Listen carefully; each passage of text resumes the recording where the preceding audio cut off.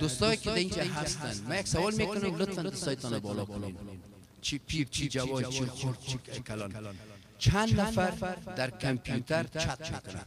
دستان بالا کنین رفی جان تو دست بالا نکنید که 400 تا چپ چت هستی. خب همین دستا یک دفعه کسایی که واقعا در کامپیوتر چت کردن در هر مرحله چت کردن دست بالا کنن. تشکر.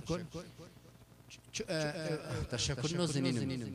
دوستان من معمولا باید داشته باشیم که زندگی رو درست تغییر کرده میره از حالت عادی میره به حالت ماشینی و به حالت تکنولوژی در خورده میره کارها آسان میشه سابق شما مثلا وقت داشتین غذای بسیار خوب میپختین ولی آل میرین یا غذای کن از بازار می‌خرین عاجل سرچه باز می‌کنین می‌خورین و کارتون آسان میسین و به همین شکل زندگی تکنولوژی هم فرق کرده انسان ها بعضا از طریق اینترنت و از طریق کامپیوتر با هم آشنا میشن دوست میشن با هم صحبت می‌کنن.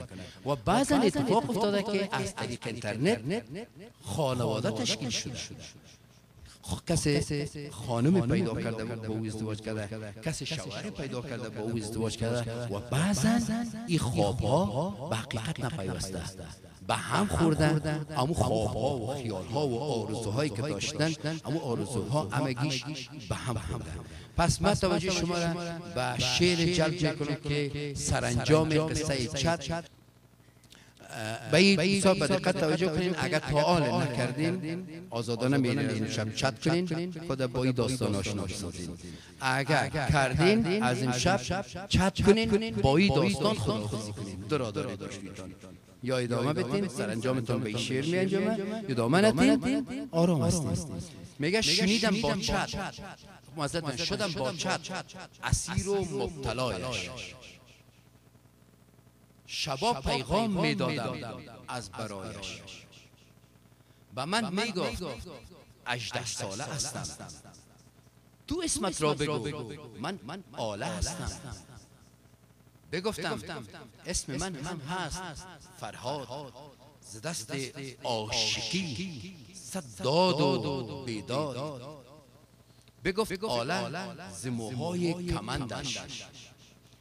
کمان ابروان قد بلندش. بگفت چشمان من خیلی فریباست.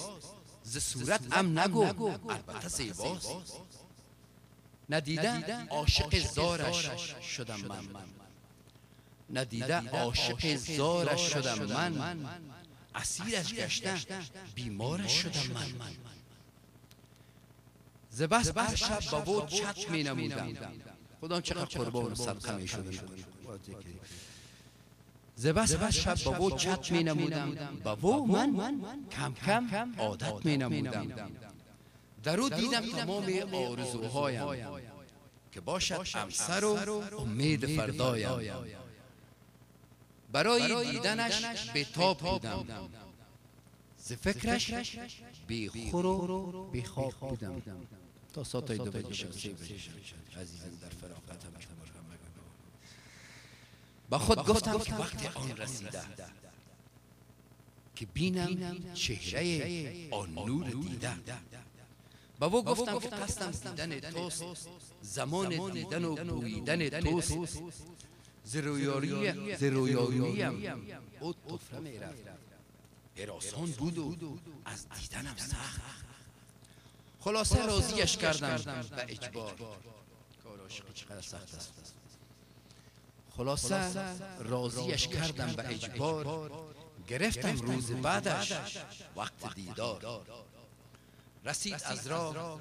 وقت و روز موعود زدم از خانه.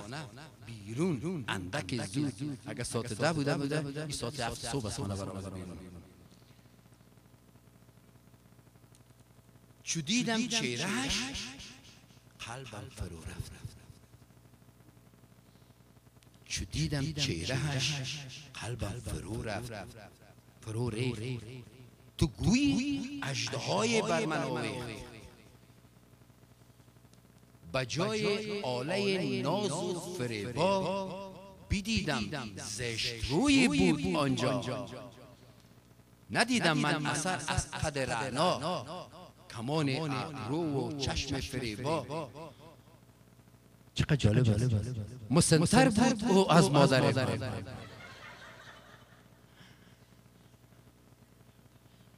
آلا جان 18 ساله. مسنتر بود او از مادر من.